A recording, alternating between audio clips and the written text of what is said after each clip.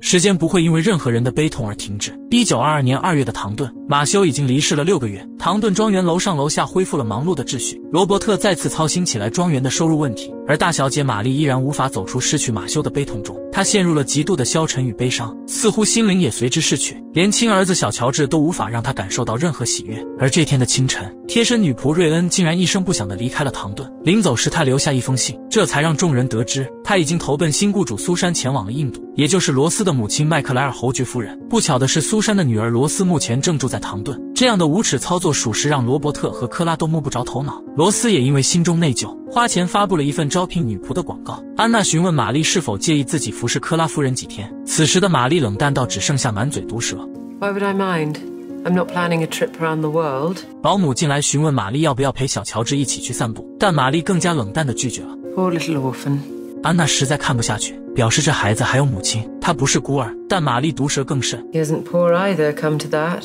如今的玛丽提不起精神做任何事情。鉴于马修和汤姆先前改善庄园的计划已经被放弃，所以布兰森希望让玛丽参与庄园的管理。毕竟马修生前曾和他多次探讨过唐顿的未来，但罗伯特则认为应该保护此时的女儿免受世人的干扰。于是布兰森找到了玛丽的另一位父亲卡森，希望他能鼓励玛丽，让玛丽振作起来。但卡森却得到了大小姐的一通训斥。I'm afraid I may have encouraged you to feel you have the right to address me in this way. 玛丽毫不顾忌卡森的情面，指责他作为一名管家，不仅反对老爷的决定，还在大小姐面前撺掇篡权。但卡森在离开之时，依然是不死心提醒玛丽：“你这是在放任自己被击垮。”在餐桌上，老夫人和布兰森你一句我一句的鼓励玛丽多接触下庄园的管理，这让玛丽彻底绷不住了。My husband is dead. Can't you understand what that means? 玛丽负气离开，但老夫人不准备放任玛丽沉溺于悲伤之中。她提起了年龄尚小的小乔治，此刻玛丽的眼中还是一片茫然与痛苦。她也不知道为什么，自从马修离开后，自己心中的温柔似乎也全都消失了。也许自己从不曾温柔过。老夫人则认为好母亲有很多类型。在老夫人的鼓励下，玛丽也意识到她消沉的太久了，以至于她冰封了自己，伤害了别人。她郑重地找到卡森向他道歉，但说着说着就泣不成声，然后在卡森的怀抱里，终于宣泄出这些天来压抑的所有的委屈与悲痛。在玛丽黯然失色的这段时光里，二小姐伊迪丝却愈加闪耀明亮。她与麦克的感情再度升温。为了能够与精神病妻子离婚，麦克准备放弃英国国籍，加入德国，因为德国可以赋予他这样的权利。但这个时候，一战还没结束多少年呢，麦克敢于做出这种选择，这令伊迪丝备受感动。这天，克拉与罗斯一起去面试应聘的女仆，但对方却是个熟脸艾德娜。她曾经在唐顿短暂工作过，因为撩拨布兰森而被休斯辞退。但在布兰森的恳求下，休斯为她写了一封不错的推荐信。夫人克拉并不知道这些，艾德娜还谎称自己当初离开唐顿就是为了学习如何做贴身女仆，并掏出了休斯的推荐信。见眼前的姑娘如此的上进，克拉最终将贴身女仆一职给予了她。自此，唐顿埋下了一颗不定时炸弹。夫人已经做了决定，休斯也没办法说什么。他不想将布兰森与艾德娜曾勾搭过的事情告诉克拉，所以如今只能走一步算一步，以后把这颗炸弹给盯紧了。艾德娜成功入住唐顿，成为贴身女仆，但贴身男仆莫斯利却走向了人生的低谷。伴随着马修的离世，他也面临了失业，在唐顿死皮赖脸待了六个月，但最终结果还是被解雇。他又找到伊莎，希望请求他把自己留下来，但伊莎连自己的悲痛都走不出来，又哪里有精力去顾及他？于是莫斯利只能搬回去和老爹一起住。当老夫人发现此事后，决定拉一把这位年轻人，把他介绍给隔壁镇的一位新雇主。面对未知的新雇主，莫斯利激动的同时又有些不乐意。他认为没有人能比得上自己的前雇主马修，但他显然是把就业前景想得太乐观了。这天，老夫人撺掇着伊迪丝和自己一起去为莫斯利说好话，但老夫人的管家认为他是要在自己面前大秀一番，生怕对方抢了自己的位置。于是，在夫人们用餐期间，不断对莫斯利耍心机。可怜的倒霉蛋就这样被算计了一番，新工作也自然就此告吹。此时，唐顿的奶娘同样面临失业。这位女士犯了一个大忌，那就是招惹了最不该招惹的唐顿第一心机男托马斯先生。起因是托马斯想看看希波的女儿，却被奶娘恶语相向，还被命令帮他做事情。奶娘认为自己在楼上工作就是楼上人，但人家托马斯如今已经是副管家了，自然不会甘心受这种鸟气，于是就找到克拉面前去打小报告。克拉得知此事后就多了个心眼，结果奶娘还就真撞上枪口了。她对玛丽的儿子乔治关怀备至，但对布兰森的女儿希波则是恶言相向，甚至称呼其为小杂种。克拉听见后当即就解雇了他。托马斯也一跃成为克拉眼中正直善良的仆人，简直是世事难料。大管家卡森也迎来一桩新的麻烦。还记得他当初那位曾来唐顿讹钱的老搭档吗？在第一季被罗伯特给收拾滚蛋了，但如今又开始给卡森写信求助。卡森看了一眼后，直接丢进了垃圾桶。休斯发现了卡森的异常，便捡起那封信来细细品读。得知实情后，他来到救济院，找到了落魄的查尔斯，并决定对他施以援手，好让这两位老冤家握手言和。然而卡森是个听不进劝的老古董，于是休斯便只能把身体抱恙的查尔斯安排在了伊莎家中。这么做事实上也是想帮助伊莎，毕竟伊莎曾经是那么热心的人。休斯想要唤起他帮助社会上不幸的人的旧愿望。伊莎本不愿意，但人来都来了，他还是为此上下忙活了起来，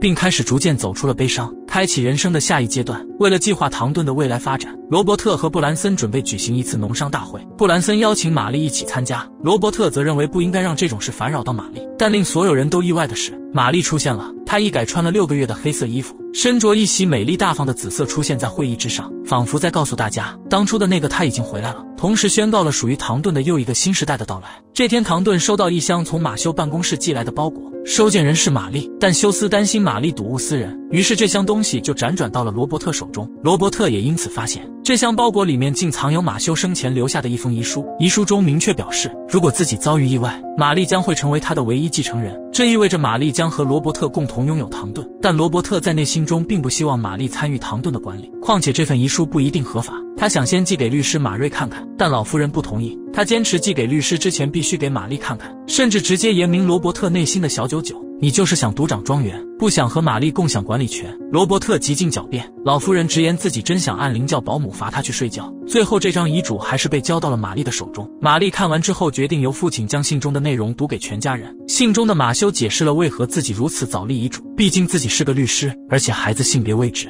他需要为玛丽负责。面对大家的喜悦与慰藉，罗伯特再次强调这封遗嘱不一定具有法律效应。但律师马瑞确认的结果是，这封遗嘱确实具有法律效应。这意味着玛丽将拥有一半的唐顿，但也意味着遗产传给小乔治之前，他们需要交纳两次高额的遗产税。如果交不起税，唐顿照样完蛋。玛丽鼓舞了信心，想要在唐顿大师拳脚一番，但罗伯特却当众说出一系列玛丽在此之前从未接触过的词语，好让玛丽知难而退。玛丽也确实因此十分受挫。老夫人在一旁看得很明白。第二天，他就单独约了布兰森和玛丽见面，并撺掇布兰森向玛丽传授农业知识，让他深入这片土地去理解佃户们的难处。Are we to do all this without telling Papa?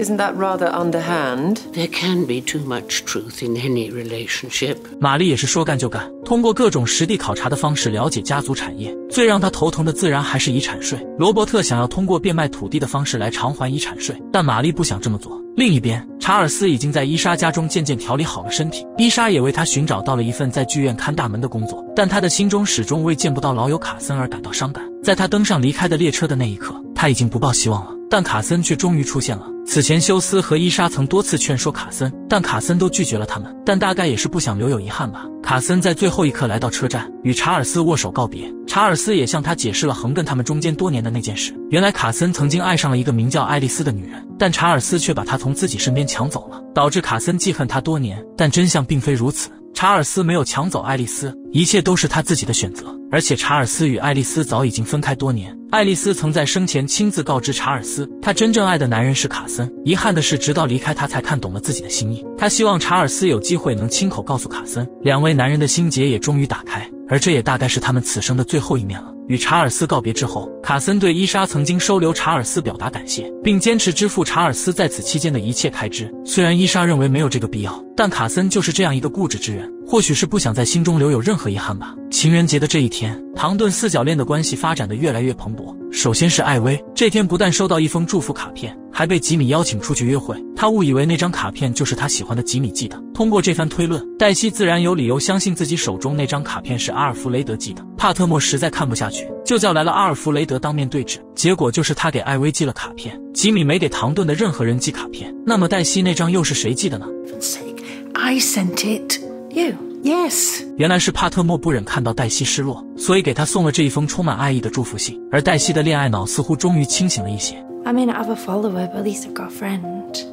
莫斯利因为失业而欠下了一屁股的债，迫于生计，只能干起了体力活。当安娜看到他现在的困境后，提出借给他一笔钱，还不起也没关系的那种。然而莫斯利却拒绝了他的善意，这令安娜十分难过。贝茨自然不愿看见妻子不开心。恰巧唐顿的前女仆格温结婚的消息传来，大家都准备签名表示祝福。贝茨也拿着卡片主动登门，希望莫斯利也签上名字，还热情地邀约他没事来唐顿坐坐。大家都很想念他。然后贝茨又把莫斯利的处境告诉了老夫人，并向其索要了一笔资金。有了签名，有了钱，一切准备工作都做好后，贝茨就开始大施拳脚了。他伪造了一封自己向莫斯利借款的欠条。等到莫斯利还真的来到唐顿坐坐的这一天，当众把这张欠条和自己欠莫斯利的三十英镑还给了他。莫斯利也是一头雾水，但架不住囊中实在过于羞涩，最终接下了这张从天而降的馅饼。而安娜只需一眼就明白这是丈夫的杰作，她感动的同时也十分好奇。How did you manage it?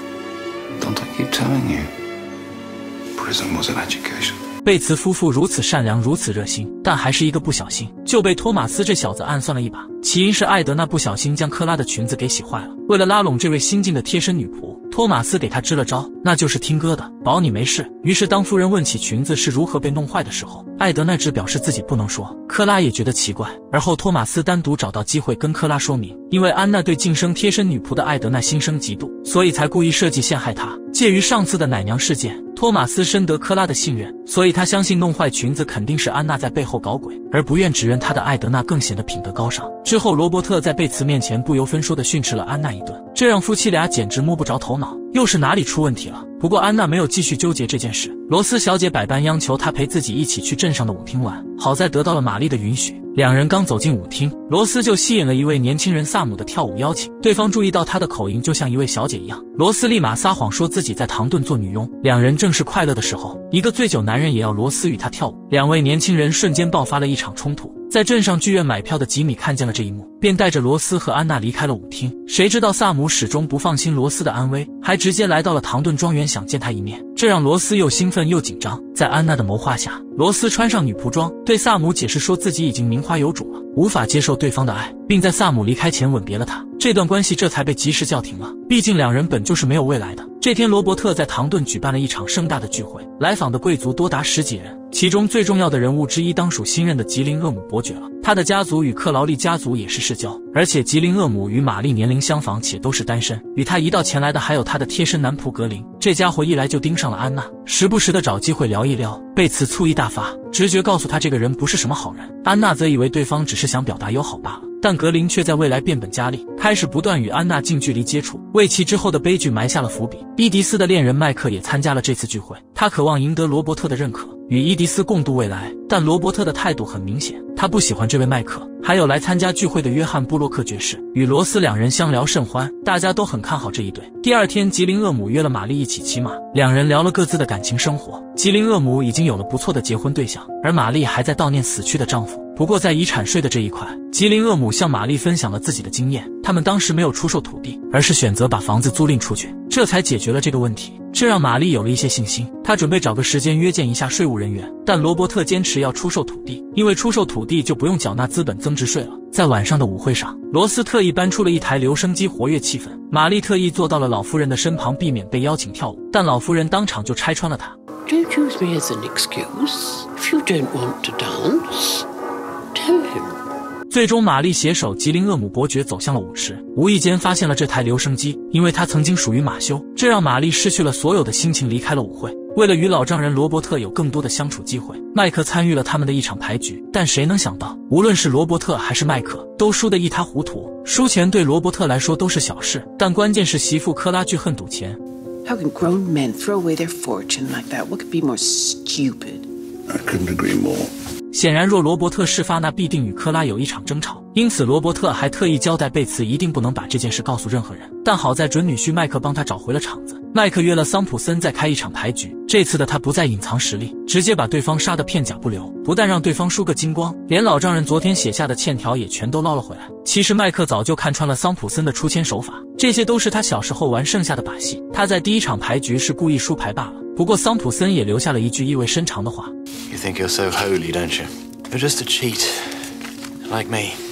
当麦克把赢下的欠条全部还给大家时，罗伯特喜上眉梢，转头就朝媳妇夸赞麦克：“这小子还挺可靠的，是个不错的绅士。”克拉也对这一百八十度的转弯感到惊喜，这简直是历史性的转变啊！这场聚会对于克劳利一家可以说是习以为常，但布兰森就不一样了。与他搭戏的可是公爵夫人。在俩人的谈话中，布兰森明显感觉到身份上的差距。每每遇到这种场合，他就感觉自己像是一只离水之鱼。在各种压力之下，他向罗伯特提出离开这里。他认为自己不属于这里，但罗伯特拒绝了。实际上，在他心里早就承认了这位女婿，只是布兰森还无法走出自卑而已。当喧嚣过后，布兰森独自坐在走廊，怀疑人生，这反倒给了艾德娜乘虚而入的机会。第一次，他主动与布兰森打招呼，布兰森彬彬有礼；第二次，布兰森开始向他抒发郁闷，询问他自己是不是一个小丑；第三次，艾德娜给他端来了一大杯威士忌，这直接导致布兰森酩酊大醉。最终，布兰森犯错，而艾德娜也当面向他提出要求，那就是如果自己怀孕，布兰森必须为她负责。如果布兰森能配得上希波小姐，那自己也同样可以配得上布兰森。而且艾德娜自信自己会成为一位不让布兰森后悔的好妻子。但布兰森此时的内心除了后悔之外一无所剩。他魂不守舍了多天后，最终找到了休斯求助。休斯为这个家也是操碎了心。他凭借一本从艾德娜房中搜出的避孕指南，当场拆穿了他的阴谋，表明艾德娜并没有怀孕。他一直在等布兰森的一句承诺，只要布兰森答应娶她，那他就立马去找个男人火速怀孕，好让自己成功上位。休斯当场放话，如果继续说谎的话，自己就找个医生来把你关屋子里做一场检查。如果你去告诉夫人的话，那以后就别想再得到一份推荐信或者一份工作了。原以为这艾德娜会很有骨气，没想到她是说走就走，直接卷铺盖走人了。这心机段位远远不如托马斯，但实际上仅凭一本避孕指南，休斯也无法确定艾德娜有没有怀孕，连医生现在也无法判断。好在是艾德娜的阴谋被戳穿了。为了让这场聚会显得不那么枯燥，克拉专门邀请了澳大利亚著名女歌唱家奈丽梅尔巴前来驻场。结果罗伯特打心底里看不起一个唱歌的，根本不把对方当做贵宾接待，惹得克拉当场发作。一位世界闻名的歌唱家，被国王称赞过的伟大艺术家，竟然被你认为一同进餐会有失身份。Am I the only member of this family who lives in the 20th century?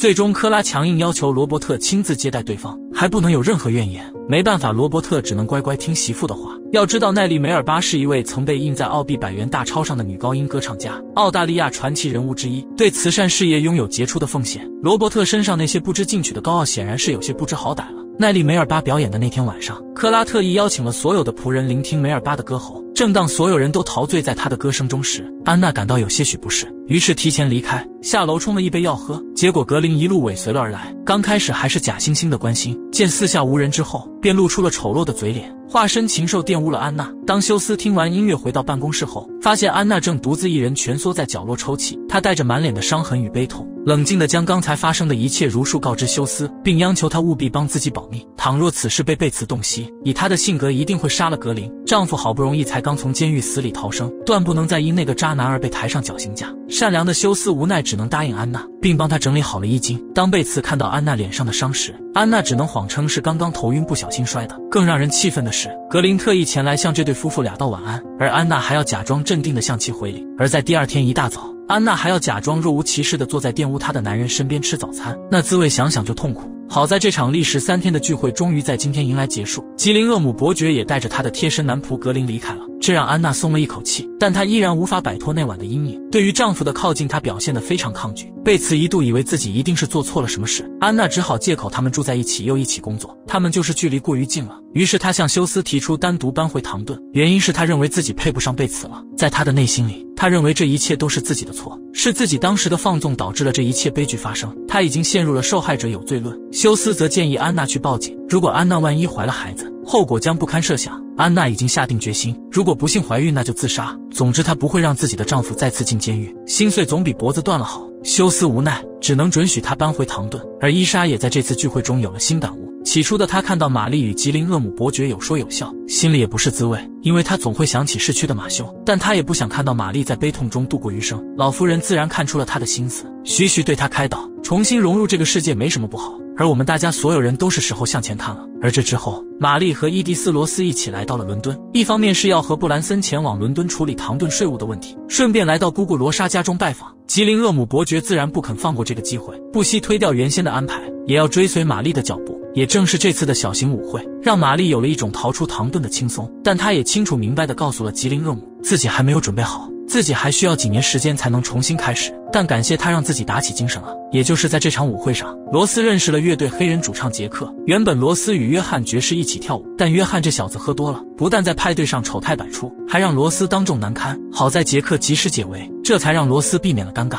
他也算是借此看清了约翰的本性。但当家人看到罗斯和一个黑人翩翩起舞时，立刻派布兰森上前打断了他们。而伊迪丝则没有去参加舞会，而是和麦克待在了一起。距离麦克出发去慕尼黑只剩下了一周，因为不知道要待多久。所以临走前，麦克将公司的所有管理事务全权交由伊迪丝来负责，然后两人便拥吻起来，直到第二天早上，伊迪丝才悄悄溜回了罗莎姑姑家。但很可惜，被早起的仆人发现了。罗莎深知他已经将自己的名誉和声望都交给了这个男人，虽然答应了伊迪丝为他保密，但还是百般告诫他不要对这段感情抱有任何幻想，否则日后定有他吃苦的时候。玛丽的伦敦之旅还挺开心，但她也同时注意到身边的安娜似乎有些不对劲。当她和安娜刚回到唐顿时，吉林厄姆这个跟屁虫紧接着来信说要拜访唐顿，这意味着他的贴身男仆格林也会再次来到唐顿。安娜无力的感觉到自己无论身处何地都摆脱不了这个恶魔，而贝茨也确信一定发生了什么自己不知道的事情。他发誓一定会查明原委。而吉林厄姆伯爵的这趟唐顿之旅目的只有一个，那就是向玛丽求婚。玛丽也觉得不可思议，虽然以前他们曾经认识，可最近也就才相处了这几天，但吉林厄姆认为自己的爱十分强烈，甚至连自己原本要订婚的对象也远远不及。但玛丽暂时无法给他一个答案。第二天，吉林厄姆再次提起了了这个问题，玛丽也郑重地拒绝了他。Yesterday you said, I feel your brain.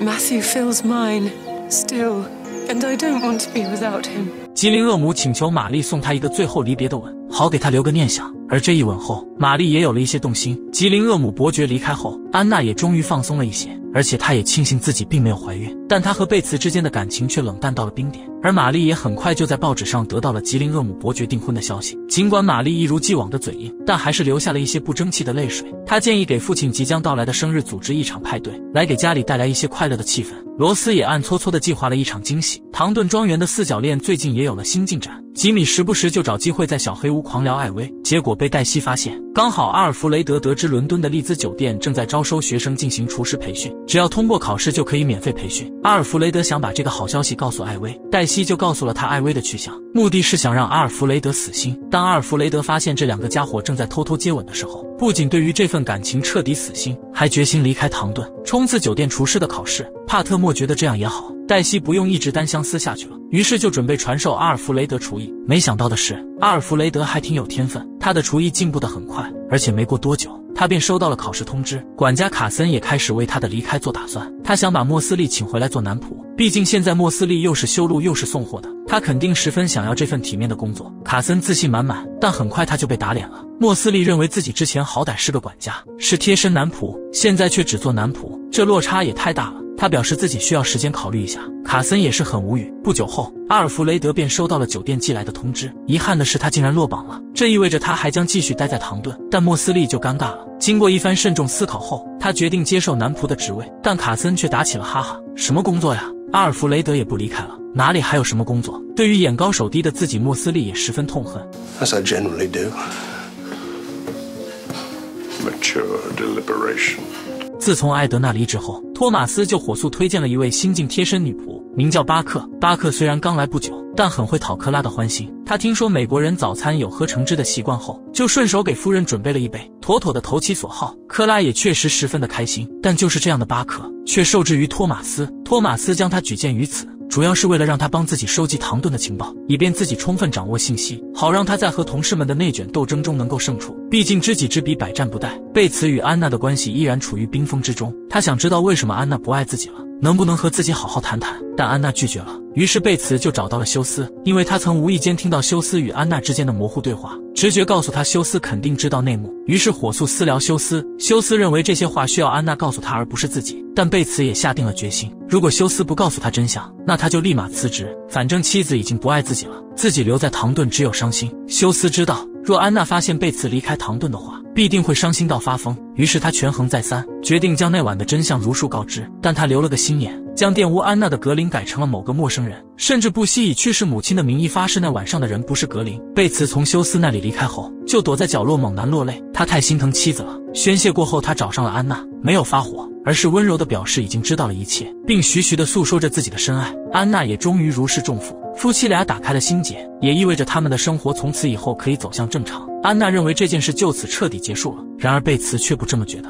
他告诉休斯，这件事还远远没有结束，而且他断定伤害安娜的人就是格林。休斯听后也顿感背脊发凉，以贝茨的性格，这次估计要闯出什么大祸了。而自己的毒誓也算是白发了。玛丽自从拒绝了吉林厄姆伯爵的求爱后，就一心扑在了庄园的改造上。她和布兰森决定将亏损的土地从佃户手里收回，由自己经营。德鲁一家就是一个例子，他们在这片土地上经营了一百年之久，但眼下连租金都交不起。随后，德鲁找上罗伯特，表达了还想继续经营农场的期望。他不想让祖产败在自己手中，也不想搬离这片祖辈生长的土地。但罗伯特也很无奈，毕竟事情已成定局。但他思忖片刻后，决定由自己自掏腰包借钱给他，让他还清唐顿的欠款。这不就两全其美了吗？既然欠款已经还清，罗伯特建议由他们和德鲁继续合作经营这片土地。毕竟，如果不尊重过去，就不能创造更美好的未来。布兰森虽然不如以往激进了，但还是站在农民这一边。玛丽也同意了这一决定，并找德鲁继续续约，也无意间得到了老爸出钱帮他还清债务的事情。不过，玛丽并没有因此事而生气，她相信如果父亲如此信任德鲁，那德鲁必定是位正人君子。他对他们未来的合作充满了希望。此时，伊莎也渐入佳境，开始了自己的新事业。这次的帮扶对象则是一位名叫佩格的小伙子。在他的软硬兼施下，把他塞到了老夫人家中当园丁。但没过多久，就出了幺蛾子。先是老夫人的那把很贵重的裁纸刀丢了，后来又有个象牙坠子丢了。和管家当面对质之后，老夫人断定佩格就是个小偷，遂将其当场辞退。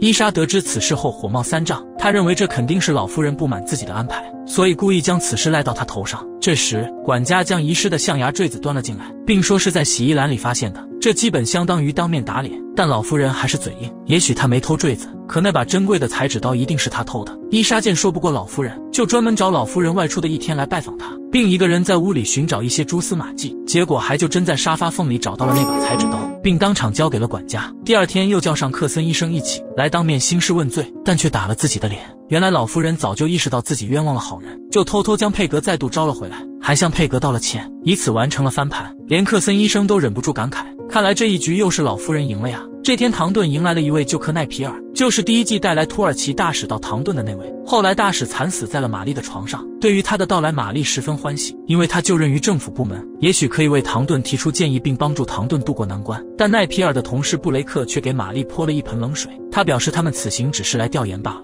因为目前有很多庄园都在抛售，他们只是来判断这是否会影响民生问题。他们有很多问题要研究，但绝对不是来拯救贵族的。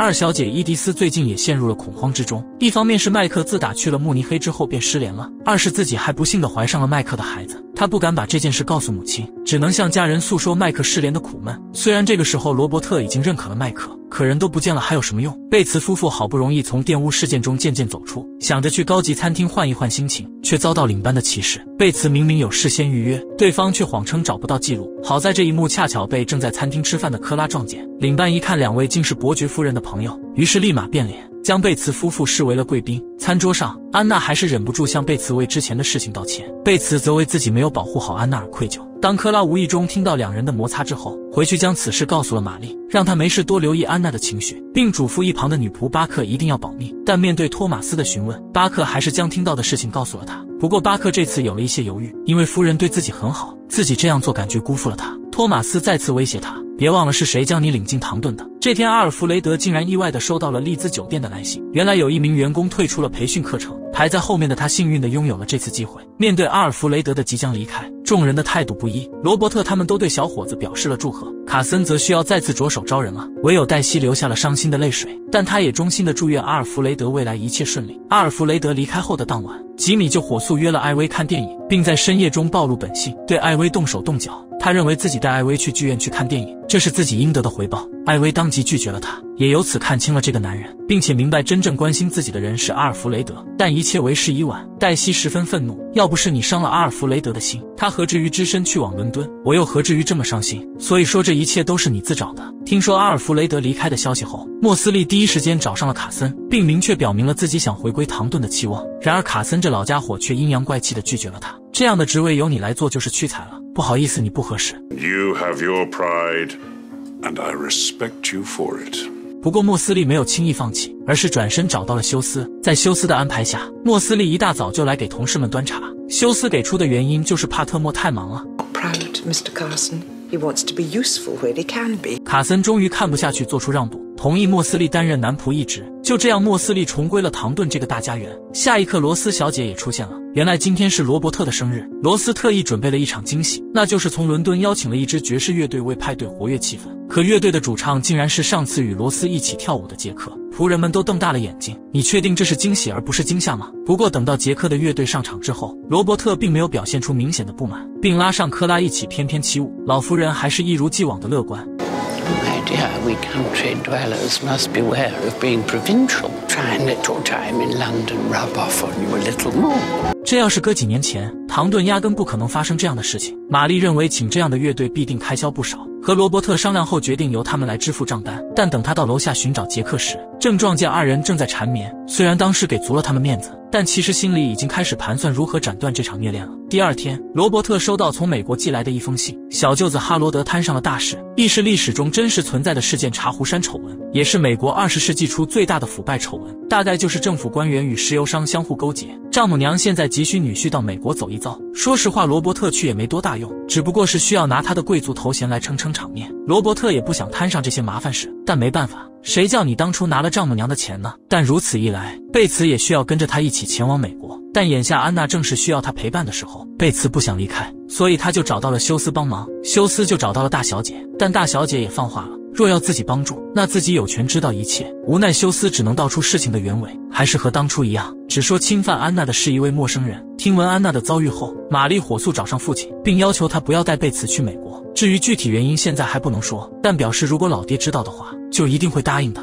如此一来，这桩美差便落到了托马斯头上。托马斯临行前还特意嘱咐巴克一定要盯紧贝茨，他希望等自己回来时，巴克可以给他一个解释，为何此次自己会代替贝茨前往美国。俩人的窃窃私语被莫斯利无意中听到了几句，于是莫斯利便有意无意的和巴克闲聊起来，巴克也因此和他逐渐熟悉。作为好友，莫斯利告诉他，在唐顿大家都不怎么在意托马斯，他希望巴克能更信任大家一些，大家也会同样的逐渐信任巴克。安娜也向大小姐表达了帮助贝茨留下的感激之情。玛丽想尽自己的绵薄之力，表示如果安娜可以描述对方的长相，那有可能就能抓到凶手。但安娜依旧顾忌贝茨，所以再次选择了闭口不谈。罗伯特离开唐顿后，玛丽继续操劳起唐顿的业务。他试图从布雷克口中套点有利的信息，但对方依然是油盐不进。面对上司和曾经心上人之间的矛盾，奈皮尔夹在中间也很难说上话。一旦他插话，布雷克就会认为他这是在感情用事。一听到“感情”二字，玛丽立刻打住。看来振兴唐顿还得靠自己。就在罗伯特离开后不久，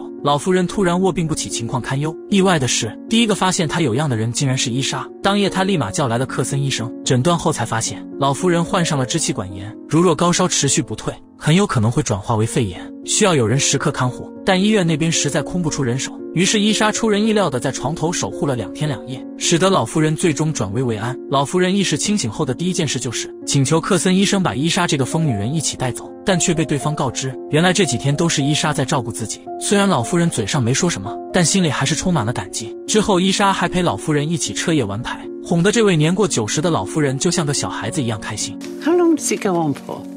Oh, ages. Oh, goody goody. 伊莎帮老夫人康复之后，继续有了下一个目标，那就是布兰森。他觉得布兰森一直都处于压抑之中，以前的那股子热情都不见了，于是就给他弄了一场政治演说的门票。虽然布兰森的政治热情消磨的差不多了，但因为不好意思拒绝，便硬着头皮去了。也正是在这次的演讲中结识了一位有共同话题的女子，但很可惜，这次俩人并没有交换姓名。不久后，卡森收到阿尔弗雷德的来信，他在信里表示要回老家探望生病的父亲，想顺道来看看唐顿的老朋友。但他的到来怕是又要在唐顿的后厨里掀起一阵小风。休斯向卡森提了个建议，就说唐顿迎来了流感，如果他来怕是会耽误他的。卡森也是嘿嘿一笑，没想到一向稳重的休斯还有点小坏。于是卡森自掏腰包把阿尔弗雷德安排在镇上旅馆居住，还请他喝了几杯。哪想到阿尔弗雷德最终还是跑来了唐顿一趟，不但拆穿了流感的谎言，还收获了艾薇的一丝柔情。阿尔弗雷德也开始后悔了，自己当初就不该离开。黛西再次陷入了悲伤，这场多角恋也再次死灰复燃。与此同时，唐顿新到了一批猪仔，布雷克想着跟玛丽前去考察一番，结果发现这些猪仔有严重脱水的迹象。仔细一看，原来是水槽被打翻了，眼下去找人帮忙已经来不及，而他们不能失去这批猪仔。于是布雷克准备亲自动手给这些猪仔提水，玛丽也不甘落后，两人为这群猪仔忙活到了深夜。一生要强的玛丽在提水的时候还不小心跌倒在了泥污里，但即使这样，她也不愿意让布雷克扶她一把。当两人终于给猪供上了水后，布雷克先生劝他先回家，自己留下来再观察一下就行了。Going. are my pigs. 面对固执又要强的玛丽，布雷克调侃她看起来很适合乡下的生活。玛丽也笑嘻嘻的给他糊了一嘴的泥，这滋味简直美味的不像话。两人回到唐顿时已经是凌晨，仆人们都在休息，玛丽就自己动手做了炒鸡蛋大餐。这一天的相处让布雷克对玛丽大为改观。这位看起来像花瓶的贵族小姐，远远不止花瓶那么的简单。眼见自己情敌越来越多，吉林厄姆伯爵再度来访唐顿，和他一同前来的自然还有他的贴身男仆格林。而安娜虽然表面镇定，实则内心几近崩溃。休斯私下里找到对方，警告他低调行事。可当格林得知贝茨并不知道是他干的后，只是淡淡的对休斯说了一声谢谢。Thank you. Don't you thank me. I've not kept silent for your sake. 格林在被休斯警告过后，不但毫不收敛，却表现出一副咄咄逼人的样子。再加上安娜紧张的神情，贝茨基本断定玷污妻子的凶手就是他。伊迪丝和罗斯一同前往伦敦出行，但两人却各怀鬼胎。罗斯忙着和乐队主唱杰克约会，而伊迪丝则整日愁容满面。男友麦克自从去了慕尼黑之后，直到现在都下落不明，而自己竟然还怀上了他的孩子。眼看着肚子越来越大，伊迪丝只能将这件事告诉了姑姑罗莎。而且她准备把这个孩子打掉。罗莎确定了这是她想要的后，就决定陪她一起去诊所。但最终伊迪丝退缩了，他决定生下这个孩子。但如何安置这个孩子呢？伊迪丝想到了庄园的农夫德鲁，也许孩子未来可以安置到他的家里。罗莎姑姑则建议找个地方长途旅行，在遥远的地方找个家庭领养更好一些。毕竟万一农夫不可靠，告诉了别人呢？万一别人看见你进出农夫的家呢？万一孩子长得很像母亲呢？他向科拉谎称要去旅行学习法语，并希望伊迪丝陪自己一起去。科拉没有产生怀疑，愉快地答应了这件事。但这件事却是瞒不住老夫人的。什么学习法语，在他听来都是胡扯。他单独约了罗莎和伊迪丝私聊，几个回合下就得知事情全部真相了。不过他的想法和罗莎一致，毕竟把孩子留在唐顿始终是个定时炸弹，而且到现在都没有麦克的消息。眼下这也是最优的方案了。罗伯特不在的这段时间，玛丽不仅挑起了庄园的大梁，连家族内的琐事也一并管理起来。布雷克也对此表示了认可，这让玛丽也有一些意外。这时奶娘将小乔治抱了出来，没曾想布雷克竟也这么喜欢孩子。玛丽情不自禁对这位男士心生了一丝好感。两人深夜喂猪喝水的事情很快就传入了吉林恶魔耳中，这家伙自然无法坐以待毙，当即决定启程前往唐顿。而安娜也是彻底绷不住了，她将那晚上的事情全部告诉了大小姐玛丽，只希望玛丽能想办法阻止格林一起过来。她不想贝茨因此而失控。玛丽当即就去了电话，但很可惜，吉林恶魔已经离开了酒店，朝着唐顿而来了。这天，布兰森准备去镇上听政治演讲，却无意中目睹罗斯与杰克正在约会的画面。返程的途中，再次偶遇了上次在会议上认识的女子，也得知了对方名叫邦婷，是镇上的一名女教师。回到庄园后，布兰森将罗斯的事情告知了玛丽，自己还暂时不能判断罗斯的行为是正确还是错误，但他觉得如果自己对此保密的话，就会很不舒服。此时的布兰森在思想上其实已经成为真正的贵族了。玛丽决定出手干预，但却没想到这次罗斯认真了。他大声表示自己爱杰克，而且要嫁给杰克。至于母亲，自己等不及看到他发现这件事的模样了。I want to see her face crumble when she finds out.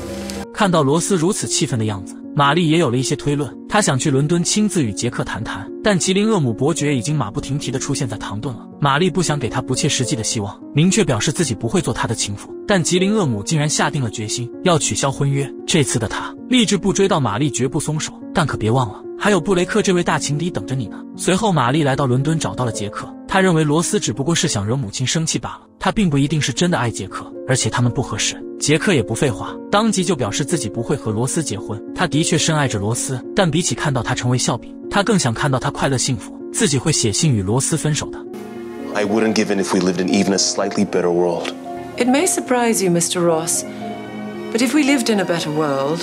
最终，杰克与罗斯就这样败给了世俗。而后，玛丽主动找到了同在伦敦的吉林厄姆伯爵，并坚决地对他说道：“解雇你的贴身男仆格林，别问我为什么，你只管相信我就行。”吉林厄姆本身也不是特别喜欢这位男仆，他觉得没有理由拒绝，很爽快地答应了下来。安娜听到这件事后也如释重负，以后再也不用担心这件事了。可就在唐顿，贝茨趁安娜不在的这一天请了假，说是要去镇上逛逛。反正罗伯特也不在唐顿，卡森自然没有理由拒绝他。但至于贝茨这一天去了哪里，做了什么，谁也不知道。在解决完孙女的心头大事之后，老夫人又火速帮助伊莎牵线搭桥，介绍了一位老朋友。此人正是玛丽的教父莫顿伯爵，也是当初朝布兰森下药那位小伙的父亲。伊莎一开始并没有发现老夫人的意图，可当她发现对方持续献殷勤的时候，就决定装傻。她无意在这个人生阶段展开新的恋情。不过布兰森的桃花运倒是越来越旺了。他在去农场的途中，再次邂逅了于半路抛锚的邦提，不但帮他修好了车，还聊起了曾经的种种。两人之间的距离被再次拉近。自打阿尔弗雷德上次唐顿一行后，他以为自己和艾薇终于有了机会，不但大胆写信说想娶她为妻，还要让她离开唐顿和他一起生活。可艾薇并不想这么快就草率决定自己的未来，她不知道未来的生活会是什么样子，于是就在帕特莫的建议下，回去了一封拒绝信。阿尔弗雷德心碎了一地，痛定思痛后，决定回到唐顿与艾薇当面说清楚，好好告个别。两人约定成为一辈子的好朋友。为了不让黛西伤心，帕特莫特意在这天给她放了假，让她去老威廉的农场看看。老威廉当即就看出了黛西的心思，他觉得这样的事情需要正面面对，而不是逃避。人这一辈子不会爱上很多人，即便你不清楚自己内心的真实感觉，也应当好好跟他道个别，不留任何遗憾。黛西也有所感悟，老威廉将他马不停蹄地送回了唐顿，也让他得以见了阿尔弗雷德一面。此时的阿尔弗雷德也是后知后觉，发现一直真诚对待自己的只有黛西，可爱情往往就是这个样子。错过了就是错过了。黛西遗憾地表示，虽然自己爱过你，但那些感情再也回不来了。俩人彼此祝福过后，就此分道扬镳。随后，帕特莫对黛西说道：“自己的内心实在是太骄傲了。” If you were my own daughter, I couldn't be prouder than I am now. 不久后，唐顿一年一度的集会如期展开。罗伯特刚好卡着时间点归来，小舅子哈罗德只是挨了一顿教训。这趟美国之行算是没有白去。托马斯第一时间找到巴克打听情报，但巴克却出人意料的没有理会他。一旁的莫斯利更是出来为他解围。就这样，巴克挽着莫斯利扬长而去，将托马斯晾在了原地。这场集会还有两位男士不请自来，一个是对玛丽穷追不舍的吉林恶母，但他这次带来的却是格林的死讯。那天他听了玛丽的话，解雇了格林，而格林离开没多久就发生了车祸，据说是不小心滑了一跤到了路中间。玛丽第一直觉就是被此干的，他不敢相信这一切。当布雷克找他搭讪的时候，玛丽问了他一个关乎道德的问题：倘若你的一个好友犯了罪，但是你又认为他是占理的一方，你会怎么办？布雷克的回答是什么都不说。玛丽点了点头，算是认可了这个建议。之后，布雷克索性也不掩饰，直接对其展开了大胆追求。玛丽自然是开口拒绝，然而对方却不接受，并发誓自己一定要争取到底。就这样，玛丽收获了两个铁杆追求者，连罗伯特见了都吐槽自己离开了这么久。他们三个是一点进展都没有吗？随后，玛丽将格林意外身亡一事告知了安娜，这让安娜变得心神不宁，因为一切都太过于巧合了。她立马找到丈夫对峙，想知道他昨天到底去做了什么。贝茨只说自己随便逛逛而已。那残害格林的元凶真的是他吗？这个答案就需要等到下一季了。